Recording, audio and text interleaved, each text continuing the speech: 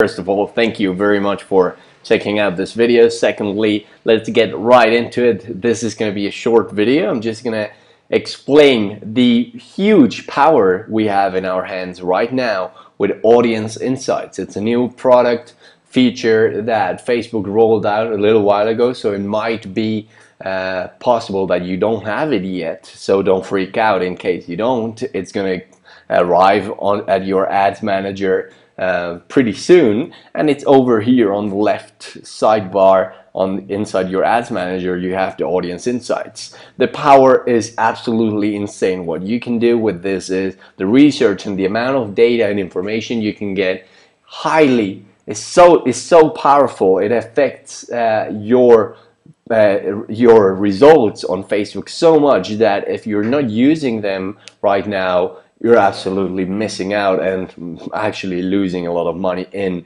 uh, results you're not getting okay so what what it does is with the audience insights so let's click over here real quick. What you can do is you can do your research apart from what I teach which is on Facebook. It's as I taught always on Google itself to go and find brands products public figures and leaders in the niche events and organization and sub niches as I always taught you and then always practice by myself this uh, apart from that now we have an in-house tool here on Facebook where you can actually get all that data at once and really make yourself really smart before you jump into a promotion or you start a marketing campaign okay? So uh, of course uh, we can't be like in the know of every all the niches in the world so that's why there is the research part and it's always crucial to do your research prior to any marketing campaign because that is going to increase your results and, and meaning you're going to get better and more targeted traffic which increases your conversions and click rates as well which makes your ad cost go down. So the more targeted the better and to get more targeted we need to get do more research okay? So now we can do all that research all in one right here on audience insights. So the first thing you're gonna do is you're gonna select the audience whatever whatever you already know about your audience uh, or the market you're going to target you type it in here. You could do custom audiences that you have and stuff and it will automatically give you all that data. But because we're going to jump into new niches means that we don't have anything. So let's do it live right here with one I'm going to jump into which is going to do a t-shirt for a group of ecology uh, ecologists. And I want to do my research right here because I haven't done it. So let's do it live right here in front of you. So the first thing I'm going to type in is the first keyword I know which is ecology. I don't know anything else okay? Let's assume I don't know anything else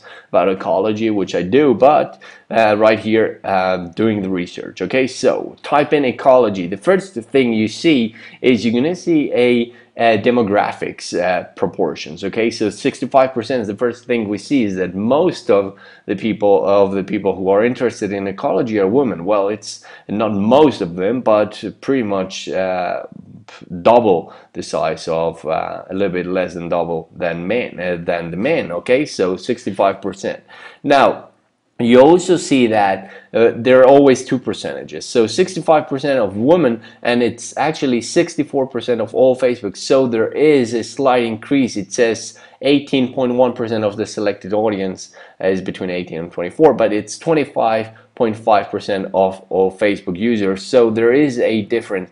It's going to compare between all Facebook users and just the ones in the audience you selected, which is right here, just people interested in ecology. I could even narrow this down even more and say, okay, my target, I know that uh, people that are going to buy the most are over 30 so it's not going to show this now it's just going to show uh, from 30 and above okay?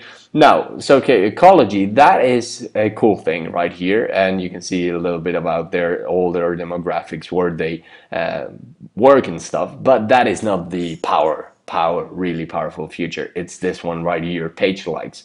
Okay so the first thing you're gonna see is okay and let me get back. Let me get back to uh, 21 which is what I had.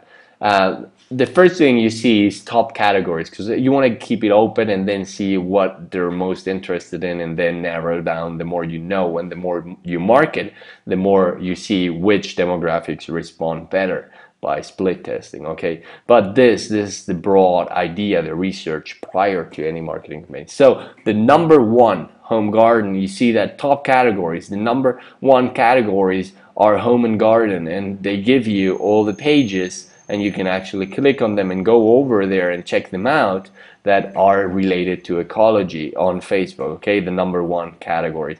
You also then okay make sure you keep these uh, this little uh, these little uh, keywords that I put here, the topics, key topics that you want to find keywords in that you can then target. So brands and products, right here we have, these are products actually in brands. Now here we have another product. Here we have organizations, tree huggers, we have the Organic Non-GMO Report, World Wolf Conservation Center, Nature Conservancy. These are organizations that we can go after as, as well. So you can always check them out and see now we have an idea of what we're targeting but here it's where it becomes even better okay it goes page likes we see from relevant they Facebook calculates the relevance uh, by looking at the affinity the page sizes and the number of people who are interested in ecology as I typed in in here that are interested in ecology the uh, top top relevant uh, result is sustainable man. Most people that like ecology like sustainable man and there is then there is the affinity uh, which is how likely your audience is to like a given page compared to everyone on Facebook which means 3.9 percent uh, 3.9 times more than everybody else on Facebook they will like this page right here. Now they calculate from page size uh, number of people in the audience who already like this page, this specific page, and the affinity, they uh, calculate the relevance right there. But you can see that 6.6 times more than everybody else, they will like resource natural spring water. But it's not the most relevant one because it's not the amount of people who are in here. Most of them like this one right here, then this, and then this right, right here. These are the top three. So if you target this, you shouldn't be off, okay? Now, but let's go a little bit deeper. Let's know, let's say I know about a little bit more about my stuff because I did my Google research as I teach you uh, by using, by doing this. Brands, ecology brands, uh, ecology leaders, ecology events, ecology sub niches which are in this case you go for what else uh, do ecologists do okay they conservation uh, they do uh, they plant trees, they uh, fight against the pe petrol uh, or oil companies. So ecology englobes englobes a lot of different sub niches within ecology. Okay, Avaaz is a, one of the brands we could target in organizations as well. Okay, so you get the point. So what once you add another another interest, it immediately changes, and now we can see that it also added Greenpeace USA, Greenpeace International Organic Consumers Association right down there, and up here you see that by relevance, if they like if they like ecology and Greenpeace, like now Greenpeace USA became the second most relevant one okay? And look 6.2 uh, affinity right there 6.2 times which is as I said huge. So 6 point times more than everybody else on Facebook they will like this which is I'm going to target these two. I'm just going to do it. Okay. I'm also going to target Greenpeace International, Payment System, and also this magazine. Look at brand and product, Mother Earth News Magazine, and magazines. Those are stuff that you want to target with your ads as well, whatever niche you're jumping in. Okay. So once we have this, now we have a ton of information and more than enough. But we can also go even deeper. We can know where they live. Most of the people live in right here. We can see in Florida of all these people. But that would be a little bit if you want to go just for a state t-shirt first or like that like ecology and also live in here like in different layer uh, as Don teaches. But then the last and really really powerful you can check these out too or you can see how much they engage and stuff like that but which is not really useful right now for the uh, market research but well you can see this helps you see if they are really interactive with Facebook posts and stuff, which is really great. Now, but this is where I want to go. Right here under purchases, what you'll see is that 73% of these people are buyers of clothing on Facebook. Uh, Facebook sees that the thing they buy the most is clothing, then food and drink, and then subscription services. Look at that subscription services which is really good for us marketers uh, for residual income and pet products right there as well. They are animal lovers of course they are ecologists and uh, they have to be animal lovers too. So right there you have all the data data data the data and the information you need in order to really know what to target with your ads and uh, which in the end well what as a consequence will get you way more results than you've been getting till now because you now know from Facebook themselves so what people you should be targeting Good. And then once you have all that set and you did all your research, you can immediately,